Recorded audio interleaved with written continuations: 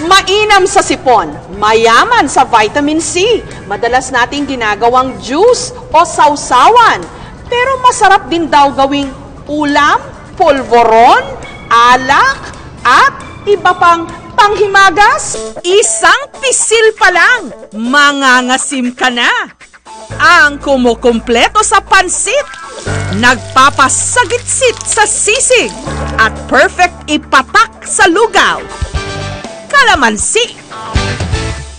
Dito sa Oriental Mindoro, tinatayang 80 to 100,000 metric tons na mga kalamansi ang naaani kada taon na nakakarating sa iba't ibang mga probinsya.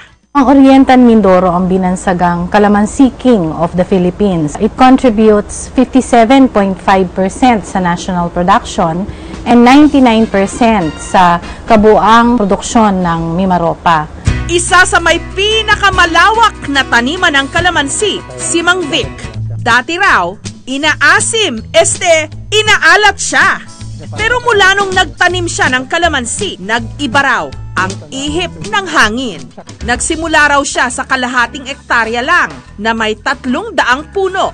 Mabusisi raw ang pag-aalaga ng puno ng kalamansi. Kinaka lang parang one way, imamalnouris mo. Iyan mo magdamo, yan, ganyan, ano.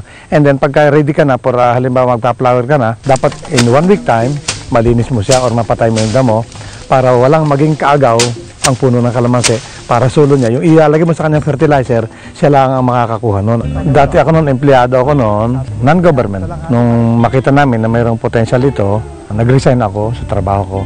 At ah, yung kaunting ari-arian ng lupa ng aking magulang, dinevelop namin, kinaniman namin itong kalamansi. Ah, maganda ang nagiging resulta. So nag-extend na kami, nag-extend. Nang dahil dito, napagtapos niya ang kanyang tatlong mga anak. Nakapagpatayo pa ng Kalamansi Buying Station kasamang ilang mga magsasakari ng kalamansi sa Oriental Mindoro. Sa daming araw ng mga kalamansi rito, ang ilang pagkain na imbes na suka ang sangkap, kalamansi na lang. Katulad ng paksiw na ubod sa kalamansi. Para naman sa exotic food trip, simulan ng mga sim sa kinilaw na tamilok o tambilok kung tawagin nila rito. Si Hanson, kapag naghahanap ng mapupulutan, sa bakawan naghahanap ng tambilok.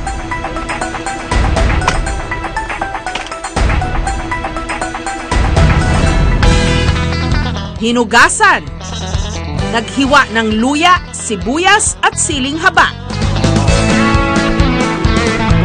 At syempre, ang pang-asim, kalamansi. Masarap na maasim, maasim siya kasi nga, siyempre, pinigaan mo ng kalamansi. Yun yung nagpapalasa doon. automatically talagang yan na mismo panlagay dyan. Pag walang kalamansi yan, walang sarap yung tambilok na yan. Katulad kung sukang ilalagay mo, yung lasa na iba. Linamnam mo yung sarap ng tambilok sa kalamansi. Para naman sa paksiw na ubod sa kalamansi, kumuha si Hanso ng ubod sa puno ng nyog at saka niya ito ginulay. Naggisa siya ng sibuyas at bawang. Inilagay ang ubod at ilang pampalasa. At saka pinigaan ito ng kalamansi. Pinakuluan hanggang maluto. Tinitiyak niya dahil kumakapit ang asim mula sa kalamansi, ubod daw ito ng sarap. Hindi ang suka, mas matabang eh, kisa sa kalamansi. Mas masarap talaga ang asin na kalamansi. Ang kalamansi o kalamundin, mayaman sa vitamin C, ginagawang juice, magaling na pangontra sa sipon at ubo. Pero ang ilan, may ibang balak sa kalamansi. Ginagawa rin nila itong alak. Ito ang Manil Liqueur de Calamansi. Sosyal pakinggan, pero katas lang ito ng kalamansi na ginawang alak. Inspired ng Italian limoncello na madalas iniinom ng mga Italiano pagkatapos nilang kumain.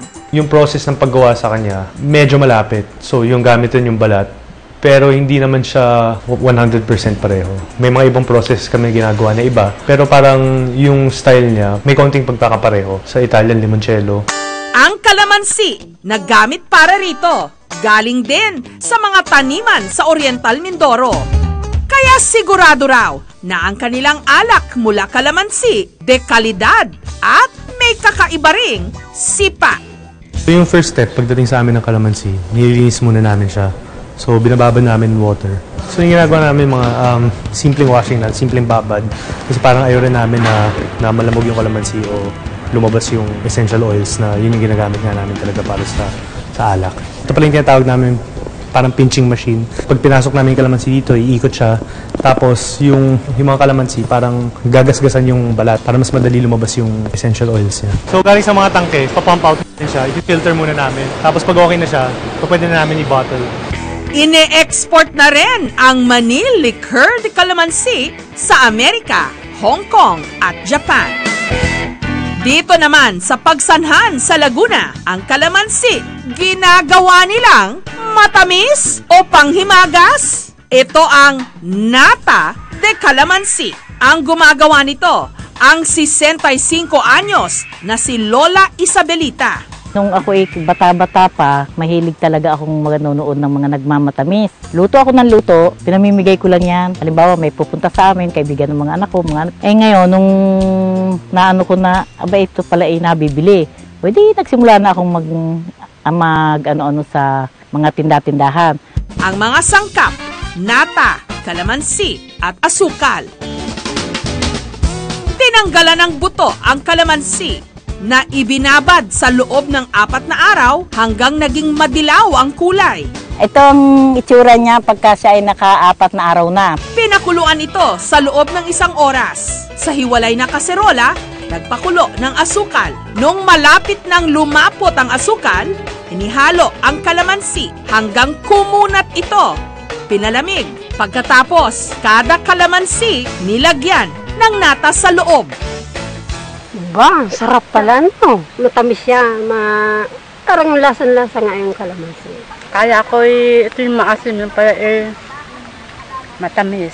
Si Chef Nico Buendia naman, ang kalamansi, ginawa niyang kalamansi pie. Yung mga natitikman ko kasi mga key lime, you know, it's something similar. But like, I like local brands, local products. I said, I want to make my own version of key lime pie. So I decided to use calamansi. Ginawa muna niya ang crust mula sa dinurog na oatmeal cookies. Hinalo ang butter at asukal na pula. At saka ito inilagay sa baking pan at ibinake. Para naman sa curd o filling, pinaghalo ang itlog at asukal. Inilagay ang butter, kalamansi juice, at ang balat ng kalamansi.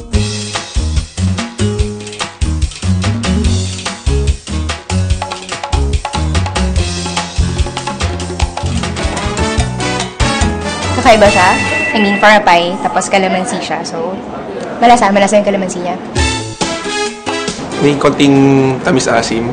Dito naman sa Quezon City, ang polvoron lasang kalamansi. Itinost ang harina sa kawali. Sa isang mixing bowl, pinaghalo-halo ang toasted na harina, asukal at buttermilk. Dinagdagan ng kalamansi zest o yung balat ng kalamansi at kalamansi juice. Hinalong mabuti, iminolde, binalot. Sa Boracay, isa sa mga dinadayong cafe, sumikat dahil sa kanilang kalamansi muffin. Dito humugot ng inspirasyon si Chef Nina para sa sarili niyang version. At dahil dietitian siya, imbes na ordinaryong harina, whole wheat flour ang kanyang gamit para raw mas healthy. Nag-isip ako ng healthy version. Then, naisip ko na gumawa ng calamansi muffin made with whole wheat and chia seeds. Pinaghalo ang olive oil at itlog. Sa isang container, pinaghalo-halo ang whole wheat flour, baking powder, at saka ito ibinake. Maasim na konti, na matamis, tama lang. Hmm, madaling matunaw yung texture. Kung ang ibang mga bansa merong lemon, tayo may kalamansi na maliit man, lalaban naman sa paasiman. Maasim man sa ilan nating mga magsasaka, ito ang naghahatid ng matatamis ng ngiti. Asim!